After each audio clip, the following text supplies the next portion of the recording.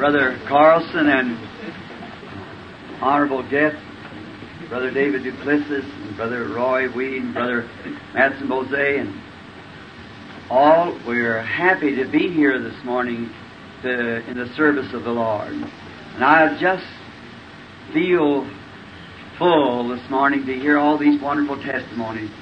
Watch how they react on the people. I was hearing the testimony of the alcoholic and watch Rosella sitting there to see what effect it had on her.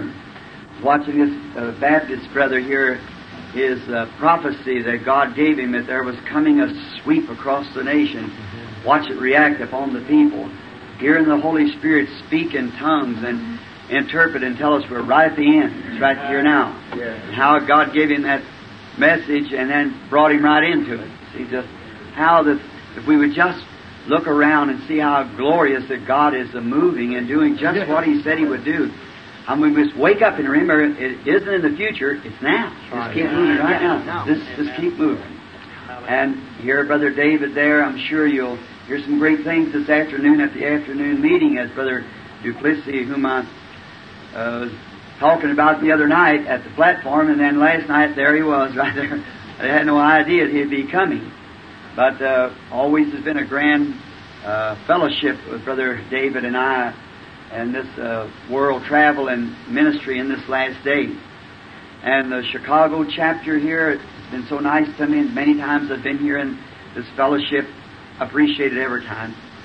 Every time I speak of going to Chicago, uh, Billy and Leo and all of them just jump for joy. They just they like to get to Chicago. They just said we just feel so good around Chicago somehow. So we're very happy. I was thinking here a few moments ago of a real royal friend of mine, Brother Roy Wead. I remember him standing by me in an hour of need when I first started on the field, and uh, how he stood by me when he didn't have to, but just God out of the goodness of his heart stood right with me. Hallelujah. And every time I think of the assemblies of God, uh, or meet some brother, maybe I think that he did something it wasn't just what he ought to do, and I guess he thinks the same about me, but I always think of Roy Wead. See, I, I think there that we put his shoulder to a place and stood with me in an hour of when I there had to be a decision made because I'd made the decision upon my promised word. Brother Roy thought maybe before his brethren it might throw a reproach or something. Then Brother Roy stood right with me on the platform. Hallelujah. Never forget him. And I think now that I'm, the Lord has helped me to have friends and everything, I might see some other friend that I could help like that too, remembering from where I come from also. Yes. I think we all ought to do that. Remember the place that we were hewed out of. Right. Now- the Lord. Amen. Uh, we don't have enough time here for me to preach. We know that. I'm so long at it. And I was just thinking, I wish some of the brothers would just stay up there, you know, so that when I got up there, I could just give a testimony and, and sit down. But now it does leave me time to read a scripture, I think, to get out. Um, uh, I won't. We don't want to stay longer than eleven if we can possibly help it, because I think that's the time. Brother Carlson's so gracious. Billy's sitting here clearing up his throat and laughing at me because he still don't think I can preach a thirty-minute sermon and get off the platform.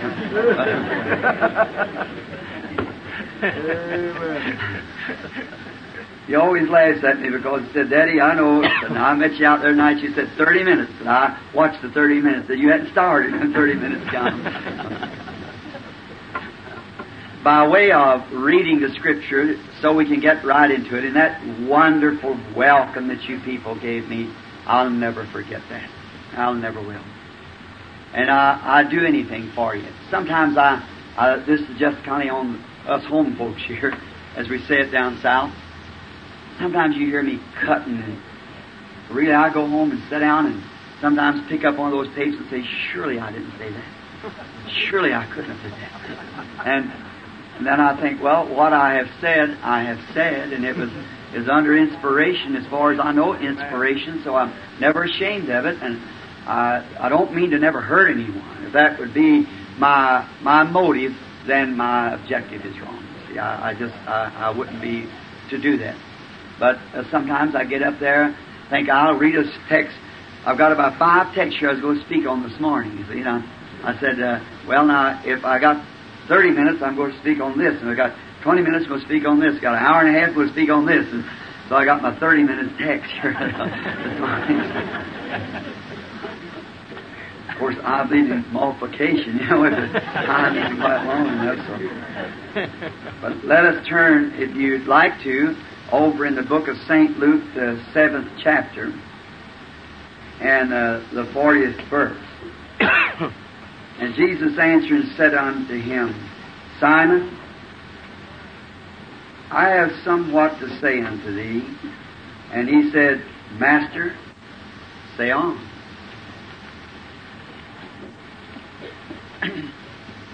Knowing that the PA system is very bad, and I suppose you can hear me back in the back now, all right? Our brother here sat here, a weary look on his face because he's watched him and felt sorry for him. And watched how that song picked him up a while ago that sister was singing. How that there's grace. We believe that. Yes. The amazing grace of Christ. Hallelujah. And I thought maybe that this morning we'd speak on a subject that would be maybe just shortly, kind of a little drama more like, on one of the meanest men in town. Now, that's a, quite a text to take at a businessman's breakfast.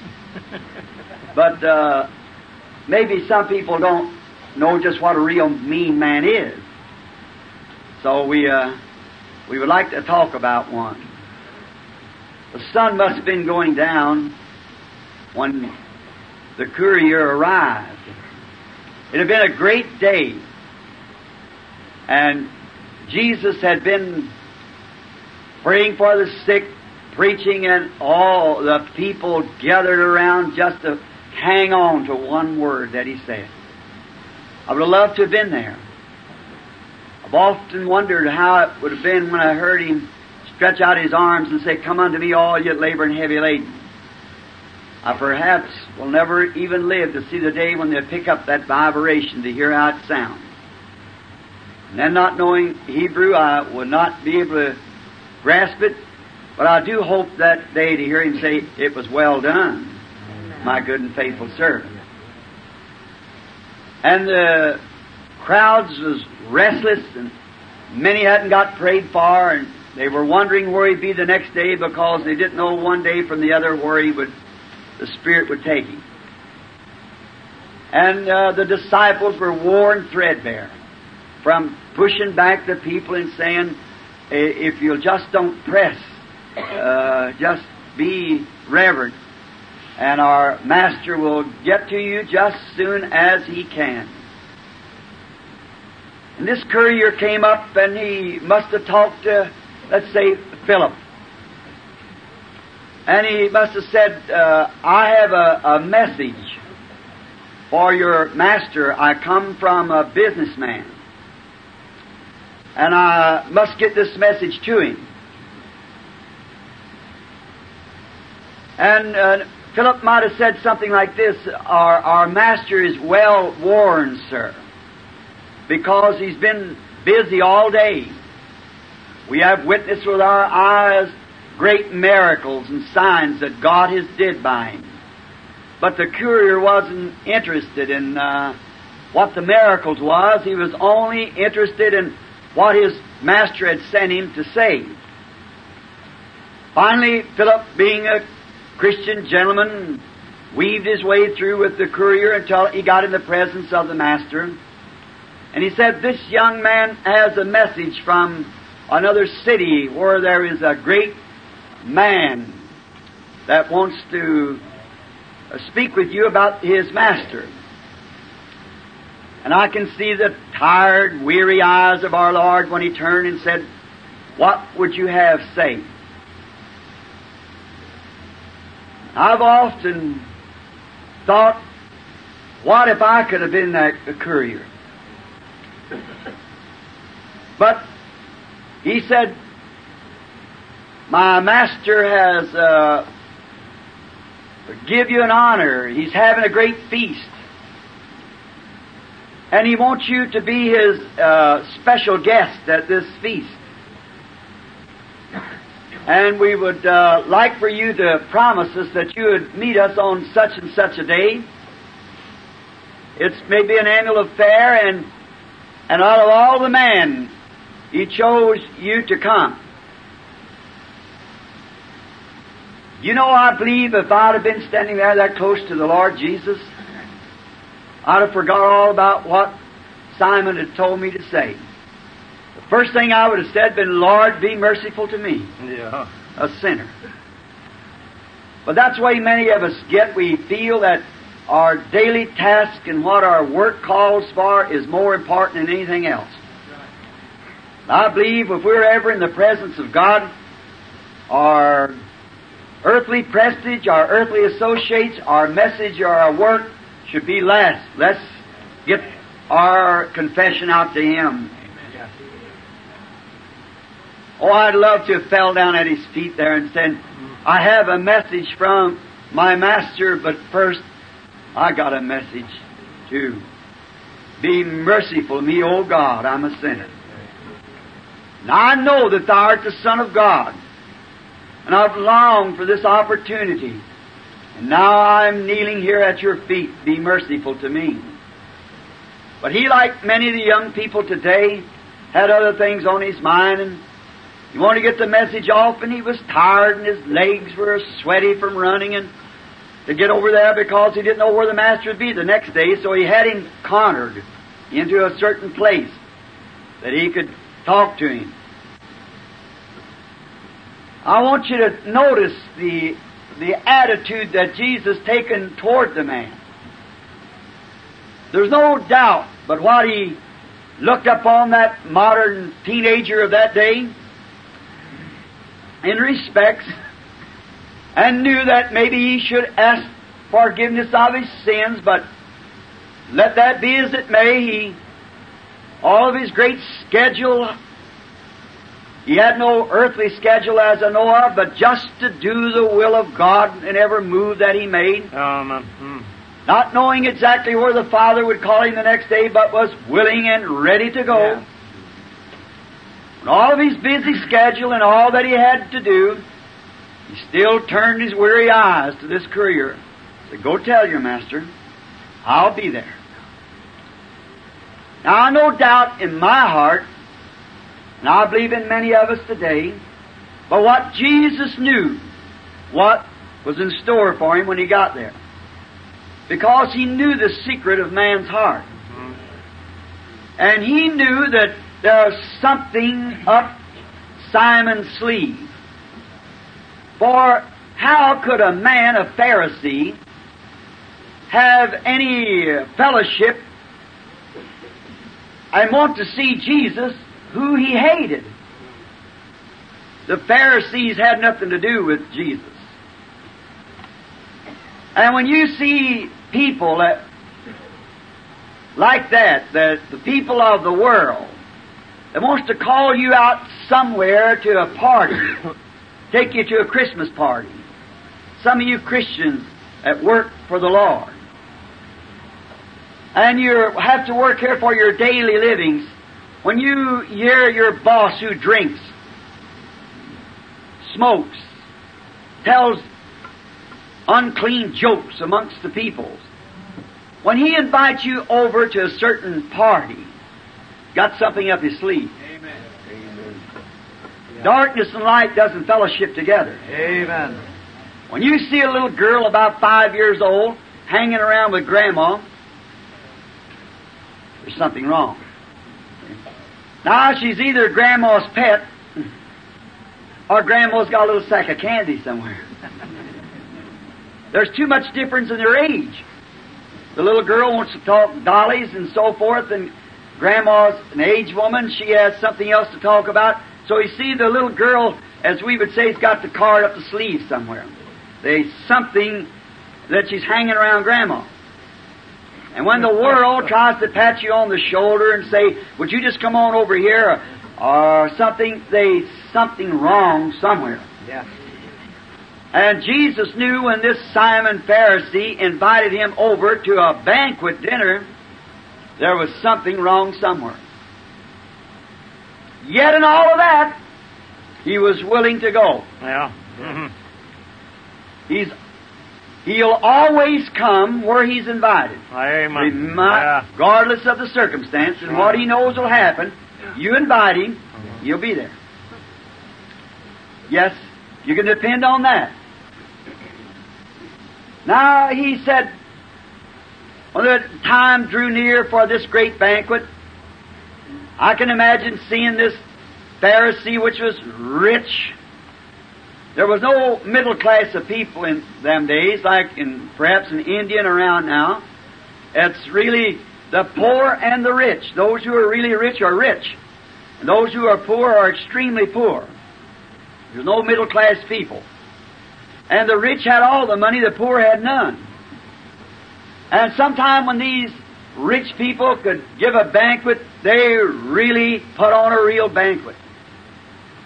So as the time set date become drawing nigh, no doubt that Simon set it in time that when his grapes would all be ripe and there'd be a, a lovely odor all around the place of the great vineyard full of ripe grapes, the bees a humming, and they would uh, kill their fatted lambs and have barbecue and they could really bring out the choice wines and spread it out on the front yard and invite their rich guests.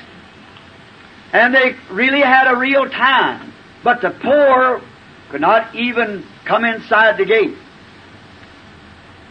And then when the day arrived and the banquet all got ready and they, the animals were killed and the barbecue pits was smoking with fancy dressed meat, fine sauces over them. I imagine the poor going by licking their lips. Then to come to one of these feasts you had to be invited. An invitation. And then when you come, uh, they always they you had to be welcomed when you come. When someone was there to meet you to take your your invitation and they had you down who was supposed to be there and this is so and so and strike your name off and has arrived and and I remember as I was studying on how they entertained in those days in the Orient, people, their only travel was either by a cart or by horse driven or, or by walk. The rich could ride in a carriage or chariot. Some rode on animals back and others walked. And when you were walking, why, they had a loose garment, something like a robe hangs loose. And beneath that garment, they had an underneath garment. Because the walking and so forth, the loose robe, then when you come to a guest house, when you were invited, uh, you hear where the church yet, we do at our church, observe feet washing. Now, it, they say it's traditional, but yet it, it's a commandment. Amen. They say they did it then as a tradition, and they did, but Jesus left it as an example, and then if He did, it's a commandment. So then we, when the lowest paid man on the job was what they called the foot wash man, he was really just a flunky. He made the, the least money of any of them because at the home he only washed the guests' feet when they come in. Then I think of our Lord. Sometimes we think that we're somebody. Mm-hmm. When the God of heaven changed his cast mm-hmm. from God to become man, and he took the position not of a king, but a foot wash flunky, to wash his disciples' feet and to wipe them with the towel wherewith he was girded. Then if we don't have the highest honor, when we're to be entertained or going to be entertained, we have to be noticed by everybody. Then I think about our Lord, how He give us example of taking the lowest place there was to wash the feet of the guests. And now their feet got dirty as they walked because he had sandals, something like the Roman sandals they wear today. that was considered their shoes. And then also up on their limbs, for the underneath garment came up high. And as the, the rope switched along on the little trails that go up over the mountains, they didn't have the broadways like we have today. Animals travel these trails also. Camels and mules, horses, and different ways of travel. And along the road it becomes dusty and, and uh, stink in the dust. And as they walked in this dust, that robe sweeping in the dust picked up dirt. And while they were perspiring, which the heat of the Palestinian sun is very hot, and their perspiration got they got sticky, and this smell of the horse and the animals uh, along the road uh, picked up this dust and got on, and they they would smell bad because they were walking in this dust sticking to them. Then when you invited a guest at your home, the first thing happened to make this guest welcome after the invitation. First they had to be invited. And then before they uh, could really feel at home, they had to be uh, uh, prepared for that. I only wish I had time to express what's in my heart about us when we have a revival. We invite him, but I wonder if we take care of him when he comes. Or do we shove him off to one side? Then the, the foot wash flunky, as I would call him, when the man come to the door, that's the first man he met because he he was uh, didn't smell right, dust all over him. So the first thing they did was slip off his sandals, wash his feet and legs, and um, then uh, take his sandals and set them up, and give him a little pair of something like a slipper, a little cloth that he put over his feet to walk on the beautiful imported rugs of these rich people's home. And then the next thing they did after the foot wash flunky, then he reached up on the mantle and he got um, some uh, perfume. And sometimes this is very, very costly.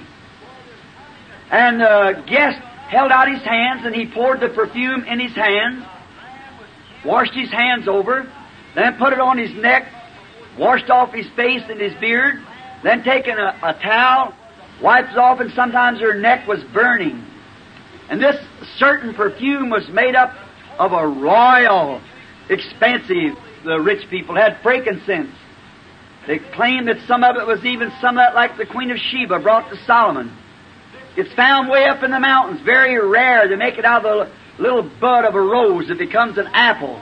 And they have to climb high, and it's very rare to make this perfume that the rich people use to, to anoint their guests when they come in.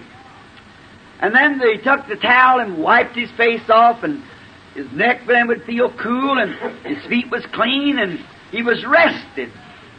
You felt more like meeting uh, the master of the house. Then he went to the next room, and who stood there but the master of the house? Then uh, it was, uh, they would meet him, stand up, something on this order. When the guests come in out, he wouldn't feel like meeting the master of the house if he was, uh, his feet was dirty and his body was stinking with the, uh, smelt like the animals that crossed over the trail and his feet all sore and dusty and his neck burning he would uh, after he was washed up and and was uh, the stink was off of him and he was perfumed and clean. He would meet the master, and then they would put their hands and pat one another like this. And then when they did, they greeted each other with a kiss on both sides of the neck. So then they um, stand up a minute, like this kissed each other on both sides of the neck. Glory to God. Forgive me. I ought to have went through the rest of the demonstration. and then, after he was washed and perfumed, his neck, not with the dust on it, not with the smell of manure, but his perfume was on there, then the, he felt fresh so that the the one that had invited him would feel released to kiss him on the neck. And then when he gave him the kiss, the kiss was the welcome. Come on in. Yes, yes. Everything, just make yourself at home. When he kissed him and greeted him, come in. Everything's yours. You're one of us now. Your feet is washed and you're, you're perfumed over and groomed. And now I have kissed you welcome. Now just come into my home and just go to the refrigerator and get something to eat, lay down, do whatever you wish to. You're just at home now because I've made you welcome.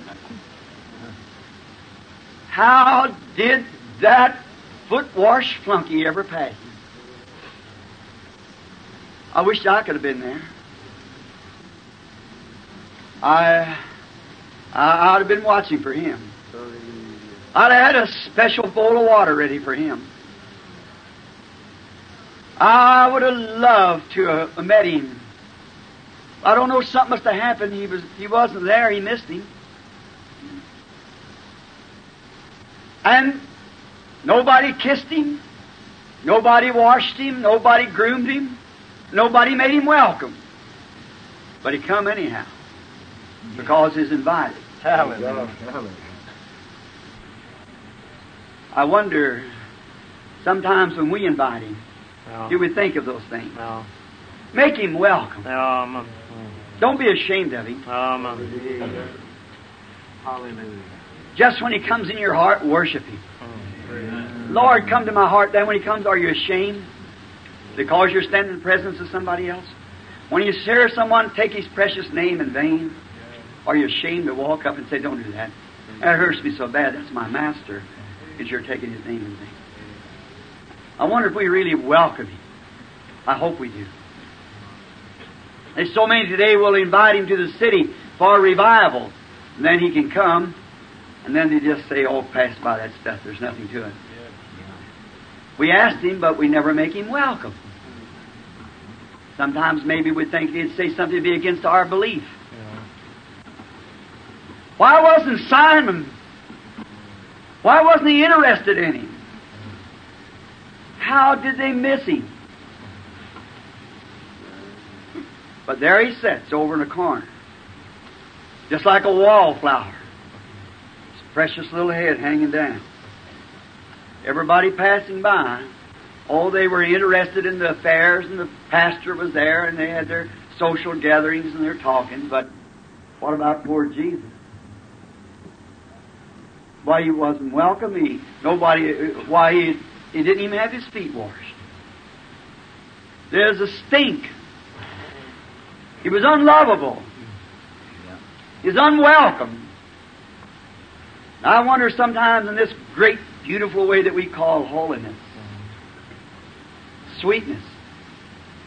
I wonder if the lives sometimes that we present to people doesn't make it just a little unwelcome too, No. because of our character. That we don't live just right. A right kind of a person to represent him, take back and back up and wishy-washy this way and that way. If he's come to our house, we ought to be thankful. That stranger of Galilee. There he was, sitting over in the corner, yet leaving his busy schedule. And he was right there on time. Jesus never fails an appointment. He keeps them all. You can depend on that. That's right. Yes. Amen. When he makes an appointment, he's there to fulfill it. Right. And there's one appointment that we're all going to stand because he's made it with all of us. That's at the judgment. He's going to be there, and you are too. We're all going to stand there. But here he was over in the corner. When I think of it, sometimes it just makes my heart feel funny. I think Jesus sitting in the corner with dirty feet. As the Frenchman calls him, Jesus. Jesus with dirty feet. Sounds sacrilegious. But that's the way he was. That's the way they left him. That's the way they let him sit with dirty feet. Honored guest supposed to be. And they were so busy with their doings that Jesus sat with dirty feet. I wonder if we are not so interested today in seeing our group grows bigger than the other that we don't leave him set the same way. But Jesus, with dirty feet, unwelcome. There was a little woman in that city who made her living at a very bad way. She was a woman of uh, the the red light, uh, the prostitution. You understand? And uh, perhaps she was a little late that morning getting on the street. And she counted her little Roman denarii that she was saving maybe to buy her a better dress someday.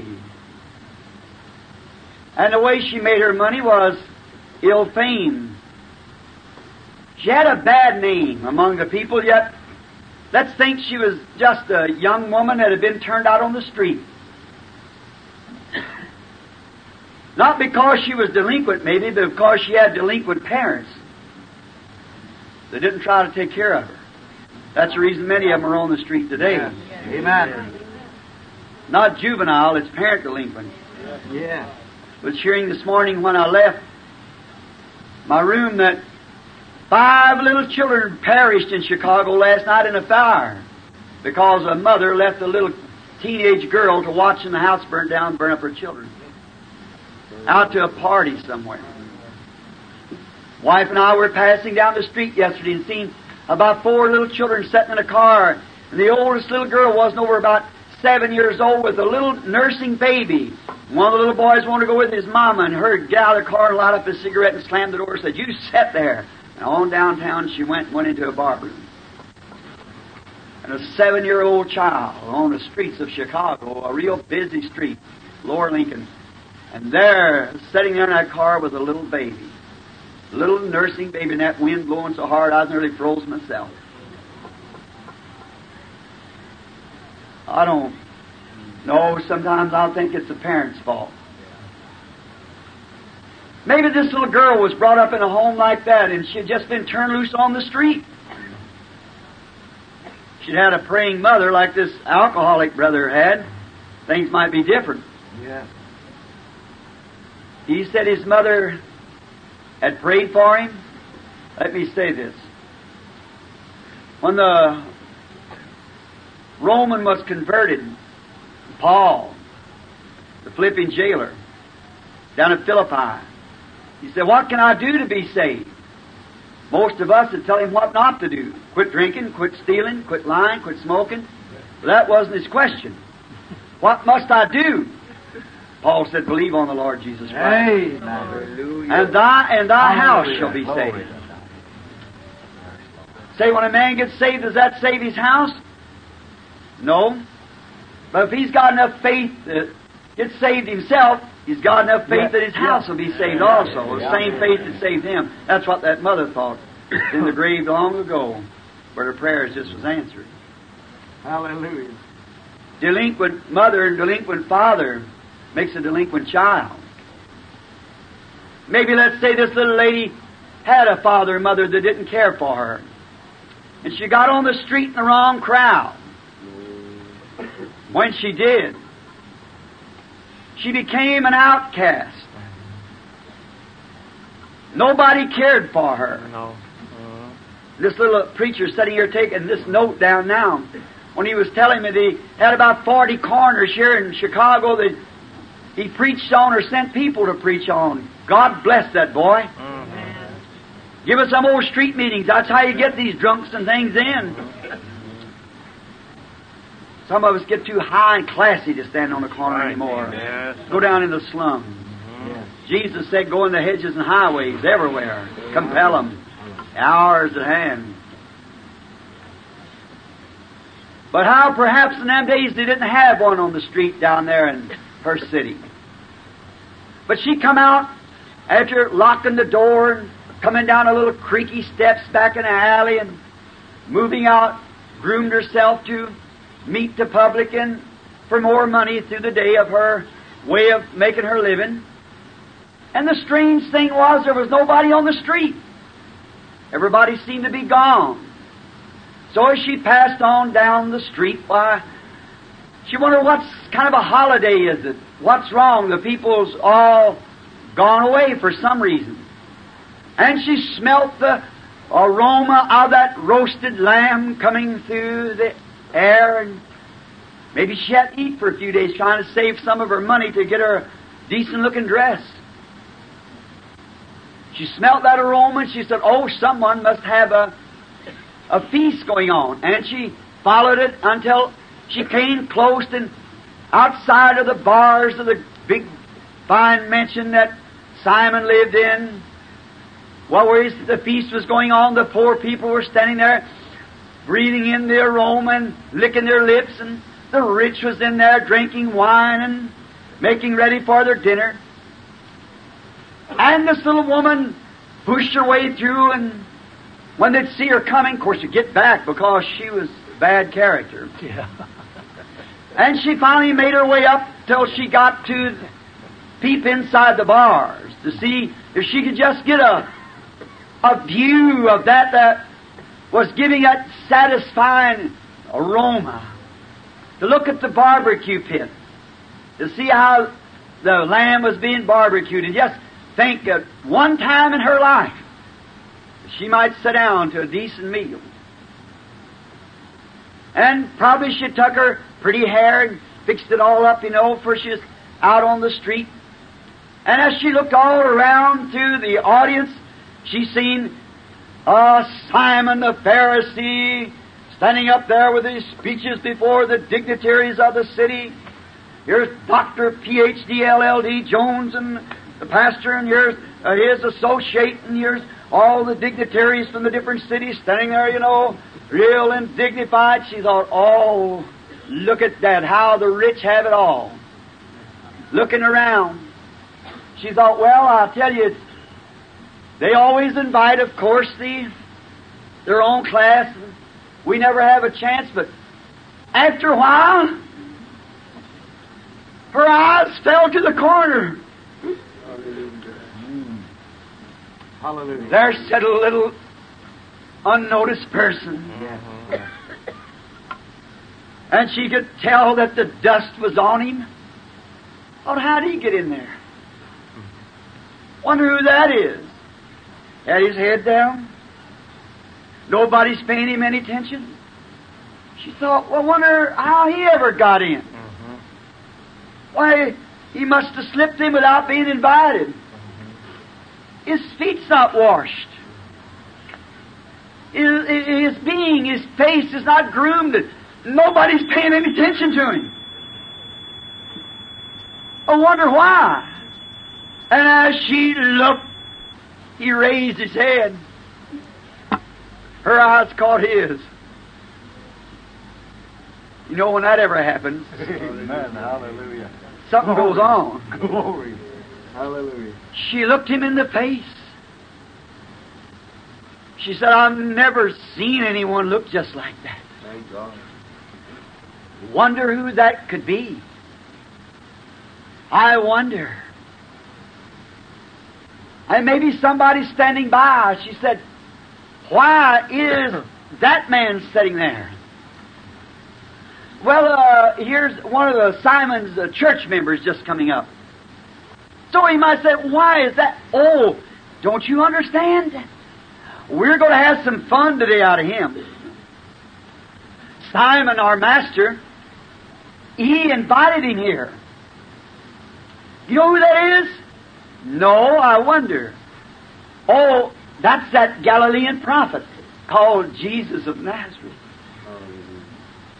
And when that name struck that little prostitute's heart, she said, Jesus of Nazareth. Yes. And she looked back in the corner, and there he sat, and she said, Oh, to think that he's invited. And he's not groomed, neither is his feet washed.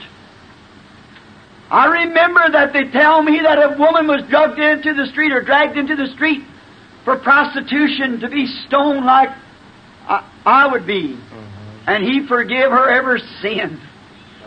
Yes. If I could only do something for Him, maybe He'd forgive me my sins.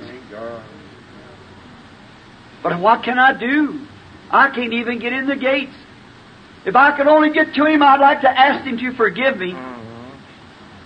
So she thought He's not anointed. Neither is He washed, or He's not made welcome.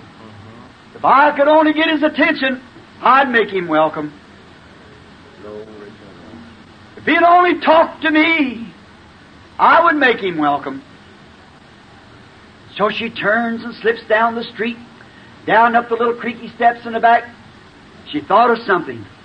She reached down in her stocking that she had locked away and she picked up these pieces of uh, Roman silver and she thought, oh, I can't do this. If I go and buy this alabaster, why, he would know exactly how I got that money. Because they tell me he's the Messiah. And I believe it. And if he's the Messiah, he'll know that I'm the wrong type of person. And she took the money and started to put it back in the box, but something said, This is your opportunity. Yeah. Hallelujah. You may never Hallelujah. get it again. Hallelujah. So it's a lesson. Don't never turn away that first opportunity. Amen.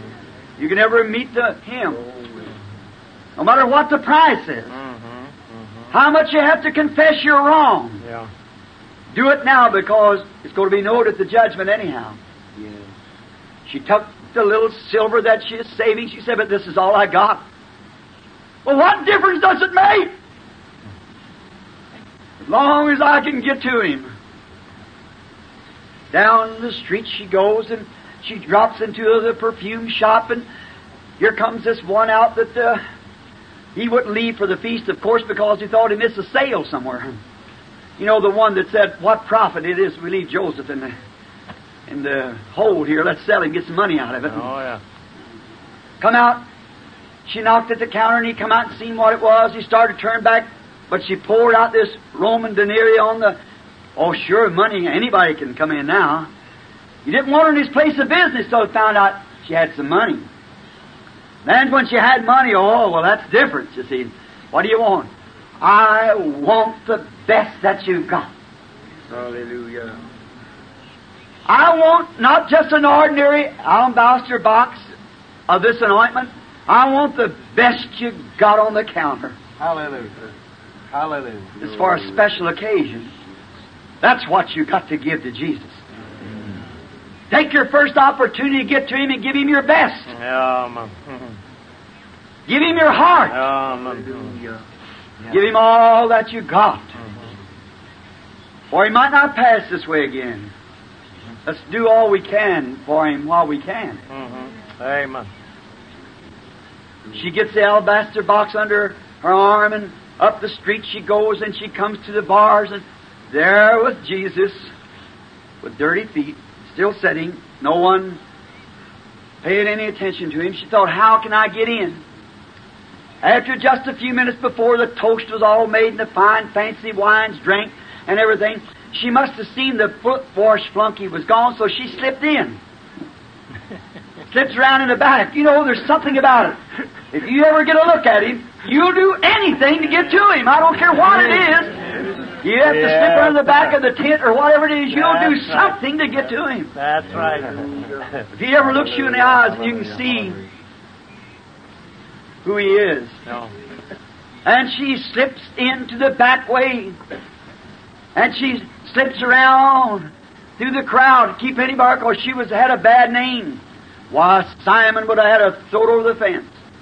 So, but she was determined to matter. She was going to make an effort anyhow. Sometimes the church might think if you go down amongst this bunch of holy rollers, you'll get thrown out the door. But what difference does it make? long as you get to Jesus, that's the main thing. Amen. That's the main thing. She came down around the side, around the side of the wall. And here he was sitting there with his head down, his hair dusty, and his, his face all dusty, his beard dusty, his feet with his old uh, walking sandals on, his limbs dusty and stinking. I can see her fall down at his feet. She come the right way. Yeah. She fell down at his feet. She looked up at him. She got scared. She thought, "What? What if he? What if he says, Who are you? What are you doing here?" No. But I can just see him reach his foot out. No. Glory! Here she's coming. Hallelujah. She said, "Oh, if he if he looks at me and knows I'm a prostitute, he knows it anyhow." Yeah. But I'd like to do something for him. Yeah. I like to show him my appreciation because I believe he is God. And I want to show something, some appreciation. And when she looked up at him, and he looked, she knew that she was at the feet of Jesus. The great big tears began to roll down her cheeks. She patted him on the feet. She was at the feet of her Lord. She began to pat his feet, and the great big tears of repentance began to roll down. Patting on his feet. She was so grateful to be at his feet. And she looked, and his feet had become wet with her tears. She was weeping with her head down. Her, her pretty curls must have fallen all down around like this. She had no towel, and her clothes were too dirty, probably to wash his, to wipe his feet. So she just took her hair and began washing his feet and kissing his feet. Yes. She was grateful. Mm. Oh, how we ought to feel the same way. Yes. Hallelujah. Not some stuffed shirt. A lot of our Pentecostal sisters have to stand on their head to do that. They don't cut their hair off. But her hair, she was washing his feet, kissing him. Oh, she was at the feet of her Lord, kissing his feet. And after a while, Simon turned around and looked. Mm, my, his face Oh, raged. yeah. Oh, yeah. Now, look what's in my house. That's it. I invited this holy roller here, and look what his, his own class come. Oh, yeah. Yeah. There's oh, birds of a feather. Yeah. Oh, yeah. They still got that same idea. Oh, yeah. I'm so glad. I won't like to have tears to wash. What beautiful water! Tears of repentance. Yes. Washing the feet of Jesus. Glory. Hallelujah. Tears rolling off of the cheeks of a ill-famed woman, washing the feet of Jesus. Sweetest water he ever his feet was ever washed with. Tears of repentance dropping off on Jesus' feet. This beautiful young woman sitting there. Simon turned around.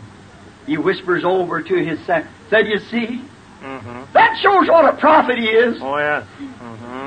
If that man was a prophet, he would know what kind of a woman that was washing his feet. Uh-huh. Surely. You old hypocrite. Uh-huh. Yes. You think he didn't know it? Yes. Said, you see, I told you he wasn't a prophet. See, they had their own idea about religion. They had their own idea about God, but it was a million miles from the real thing. Yeah. That's right. That's the way today we have our own made creeds and our thoughts about it. Yes. Long as we're Methodist, Baptist, Presbyterian, or Pentecostal, it's all right.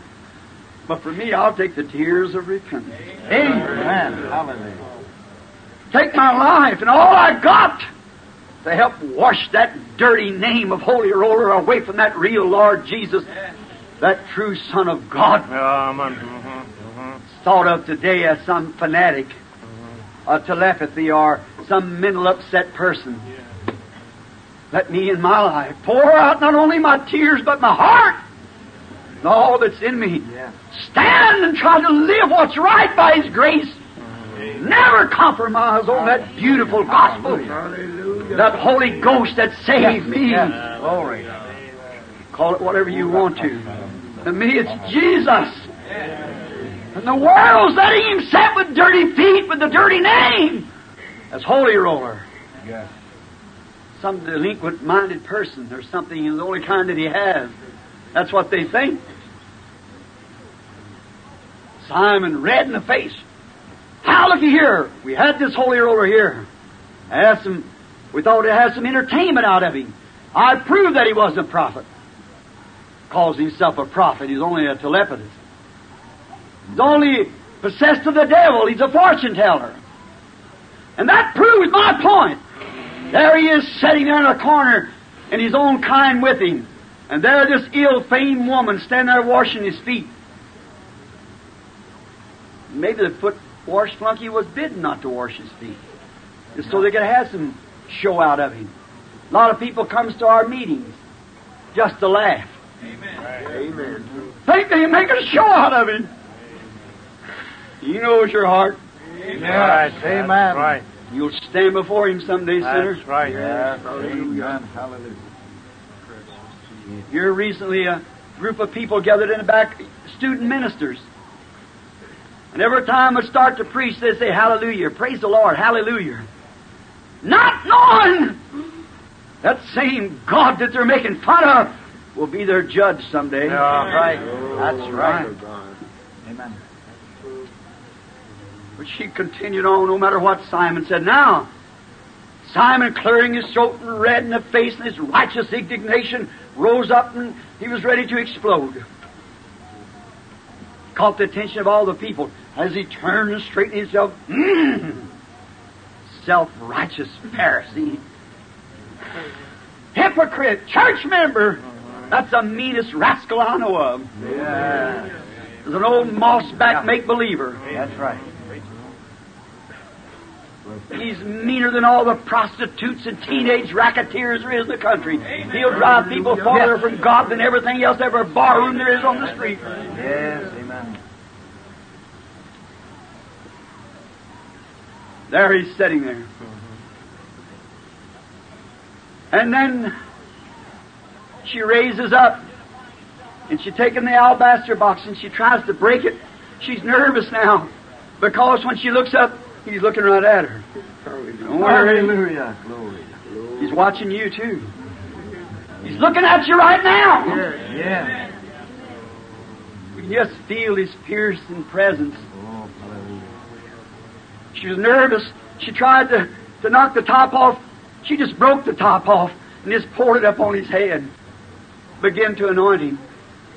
Oh, all the crowds are looking. Uh-huh. Yes, look at there. There he is. We never noticed him before. He's sitting in the corner, a prostitute around him. I can hear Simon say, Did I tell you? Mm-hmm. Uh, there's your prophet. Yeah, yeah. There, there's him. yeah. See? Yeah. You would know what kind of a crowd he's associating with. Mm-hmm. Oh, how many times I've had that thrown in my face. Brother Branham, if that gift was of God, you would be with that bunch of Pentecostals. Yeah. Yeah. Yeah. Bless you. They're the ones that receives it. They're the ones that believe it. The other day I was talking to a man from the Methodist Church that comes right in Ephesus on divine healing. He said, Why don't you come to the Methodist Church? I said, Why don't you invite me? Amen. Oh. I said, he said, I'm a pastor. I said, well, you get your deacons and your board together and your state presbyter and all of them together and see if they'll invite me. He said, oh, they wouldn't do it, Brother Branham. I said, that's what I thought. he said, the only thing they can hold against you is you're a Pentecostal. You left the Baptist church and become a Pentecostal. I said, that's the one that's received it. Amen. That's right. They're the ones that's willing to wipe Jesus' dirty feet. Amen. Stand the name of Jesus. Hallelujah. The reproach. Hallelujah. Amen. There. If he was a prophet, he would uh, understand what kind of a person he's associating with. Amen. So now she gets scared. When she sees everybody, all the hush comes. And everybody's standing looking. I can see the society women, you know, with them glasses out like this, you know. all the dignitaries standing looking, you know, with their necks stretched out. Jesus not paying attention to them. He's watching who's ministering to him. Yes. Yes. You don't care how many PhDs you have or LLDs. He don't care what society your church belongs in in the city. He's wanting to find somebody that'll minister to him. Yes. Yes. Correct. Hallelujah. Whether white or black, yellow, brown, poor or rich, bond or free, That's right. male or female. Amen. He wants somebody that'll minister to him. He's in the, his cause is needy today. It needs washing. You don't care how many organizations we have, how many great men we bring up, how many schools we build. You want somebody to minister to him. Somebody to live the life. Yes. Somebody that testifies of having the Holy Ghost. To live a life above reproach. That's right. Somebody to live the life that can produce and talk about Jesus and produce Jesus. Somebody will help wash the dirt from the name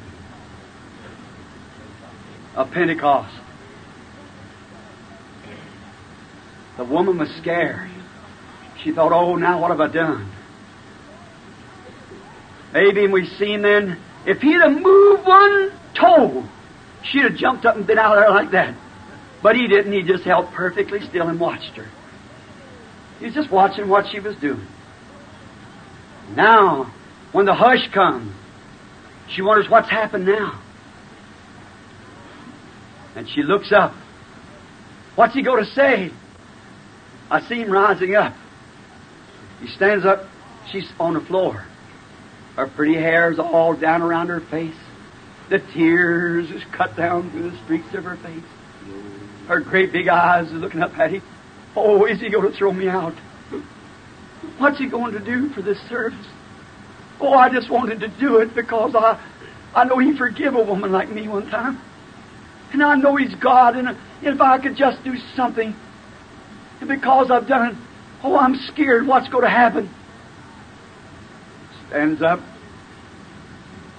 looks around. He said, Simon, I've got something to say to you. Uh, oh, hallelujah. hallelujah. Oh, I've got something to say to you. You invited me here as your guest. and I left my revivals to come be your guest. I left those who were crying and begging for me to stay to come be your guest because you invited me. I left those who were hungering and thirsting to come to you. And I was here just on time, as he is in his last days. I was here just at the right time. But when I arrived, nobody washed my feet. They wasn't willing. And then there was nobody who uh, uh, anointed my head. There's nobody who to, uh, to, to anoint my head and to and my neck and to wipe my face off so I'd be presentable to the people. And Simon, why I entered the door, you wasn't standing there to kiss me welcome. You wasn't standing there, Simon. You were too interested in the new building program and, and things you got going on. You were too interested in getting more members in your association. You wasn't there to kiss me. Hallelujah. You was ashamed of me before this company. You wasn't there to, to make me welcome, to kiss me into your heart, to make me welcome. But ever since I, this woman has come in, you know who she was. Now, what about the prophet? Hallelujah. She has continually kissed my feet. Yeah. She hasn't ceased, but she's kissed, kissed, kissed my feet. You didn't give me any water to wash my feet with, but she's washed them with her tears. Hallelujah. You didn't give me any anointment, but she has continually anointed me. Since I've been in here. And I know she's a woman of the wrong kind. But, but I say unto you, oh, how he bawled Simon out. How he got turned down. Now he turns to her, and his eyes flashes up on her. Oh, let me hear this. Glory to God. Let this be let this be what he says to me today. Yes, yes. You was the one invited me, you church members. You invited me, but you didn't make me welcome. You didn't wash my feet. You didn't give me nothing to clean myself up with. You didn't give me the opportunity to speak through you and other things to do. You wouldn't do it because you're ashamed of me. You let me sit in the corner with dirty feet. But this woman No. has continually washed my feet No. With the tears of her eyes, that beautiful crystal water of repentance. Mm-hmm. Wiped them with the hairs of her head. Hallelujah. Verily I say unto you, her sins which were many are all forgiven her. Hallelujah. Hallelujah. Hallelujah. That's what I want him to say to me. Thy sins which were many is all forgiven. I don't want to be classy. I want to belong to any so and so, so he say he belong to this. I just want to take my life and wash his feet. Yeah, what I have left. And that day I want to hear him say, Your sins, which were many, are all forgiven. Oh, thank you. Let's bow our heads. Thank you, Lord. Hallelujah.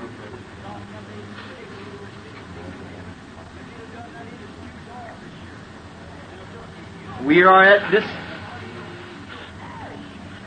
breakfast this morning. Invited guest.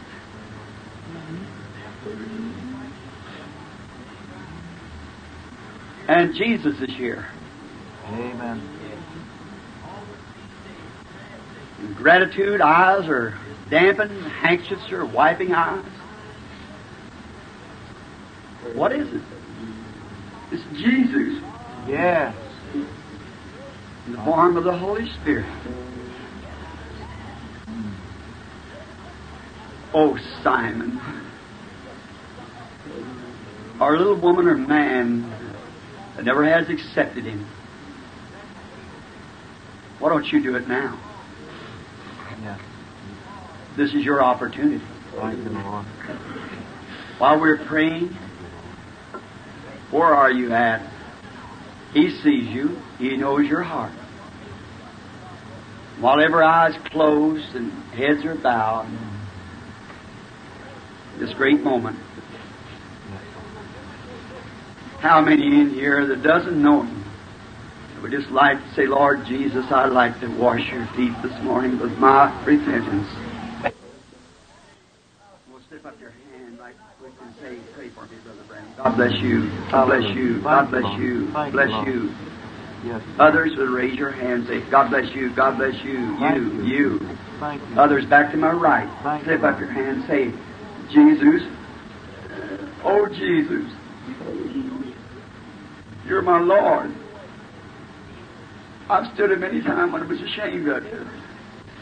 I've heard people use your name in vain. I, I'm even ashamed to say anything about it. I'm sorry I did that, Jesus. I'm repenting. Won't you receive me?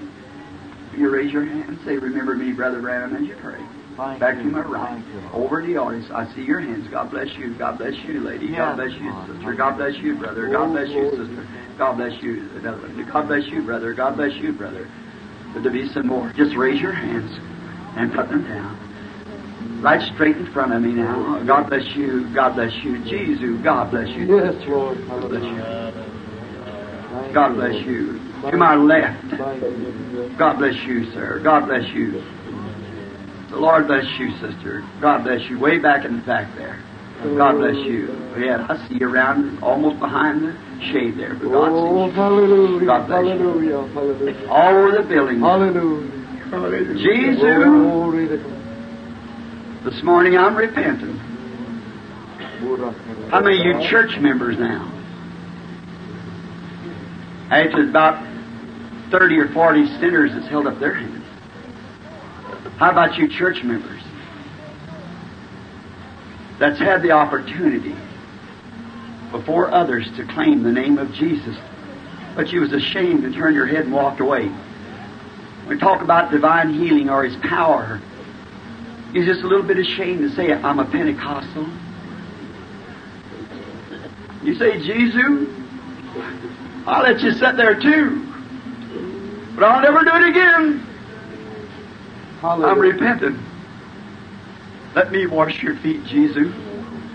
Let the church member raise their hand that's been ashamed of them. God bless you. God, that's real confession. Thank God bless you. Lord. God bless you. God bless you. Yes, yes. God bless you. God bless you all around. Members, yes, God bless you. Passed up the opportunity. I was ashamed. It was my boss or it was my neighbor, and, and they said evil things about the meeting, but I didn't say nothing. I just kept still and went on. But from this on, I won't do it. I'm going to stand for the name of Jesus. Amen. I'm going to do it. Jesus, I want to. I want you to take me this morning. Thank you. I want you to tell me I'm forgiven. That's good. God be with you. While we have our heads, God, I want you to repent in your heart. Yes. Yes. Of one dark love to thee, whose blood can cleanse each spot, I.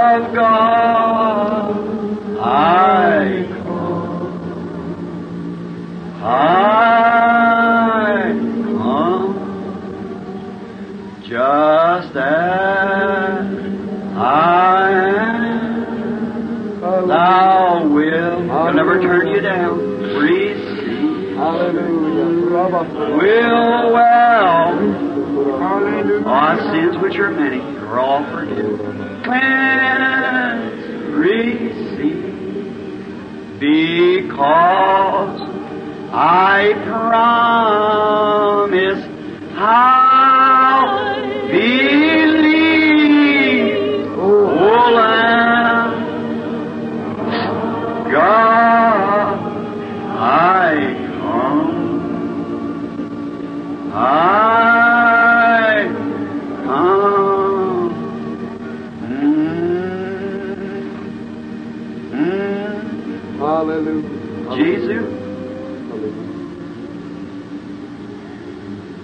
Many here this morning has recognized that they have let you sit. They passed you by, but they won't do it anymore, Lord. Never no more. Hallelujah. They'll remember this little cafeteria in this schoolroom. Yes. Jesus passed by. Seal it, Lord. Hallelujah. They promised they'd believe. They wanted to be remembered in prayer. They raised up their hands towards God, saying that I, I, I now believe. I surrender, Lord. I'm, I'm finished with the life of unbelief. I come as your servant now. Many people, I even seen ministers raise up their hands. That they was ashamed that the opportunities that they had to testify, the things that they have done, church members, but yet s- slacked. Forgive us all of that sin. Yes, Jesus. Forgive us of it.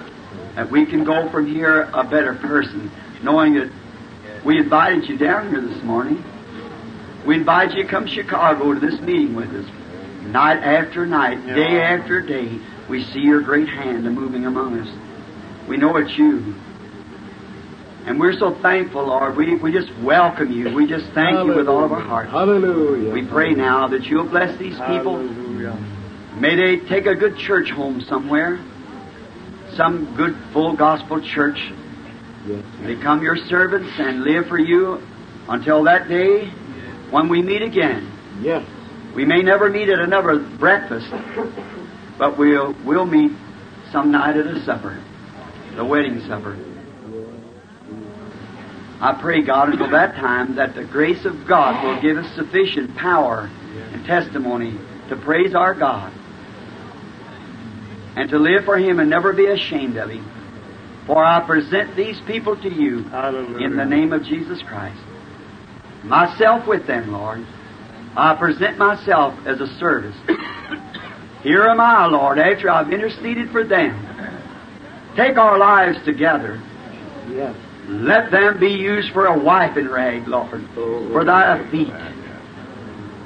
Just a foot rag. Anything, Lord.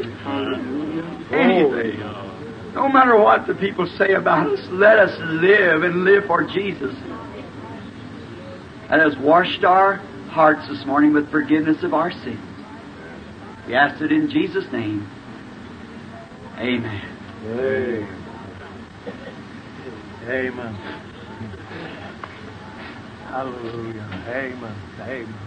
I love Him. I